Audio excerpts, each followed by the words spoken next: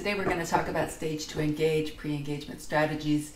This is on my mind because I have a young puppy and so I've spent a lot of time thinking about engagement and things we do that serve us well over the long run in dog sports. So what are we trying to balance? Well, one of the things we want to balance is the classic reinforcers. Food, toys, and you. You are personality, you are leadership, you are fun, you are part of an important package. Respond to your dog's body language. Your dog tells you. I like that. I don't like that. Listen. Listen when your dog talks to you. Notice where her focus is. She's mostly focused on the dog, not on the toy. Look how adorable.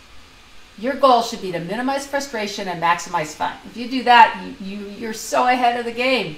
I want you to communicate that you're a leader, that you're useful and you're going to help him. You're not going to let him flounder. You are in control, but you are a resource that they can rely on, in particular under pressure. We want your dog to look to you to support because when you go to the dog show, that's going to become super, super critical.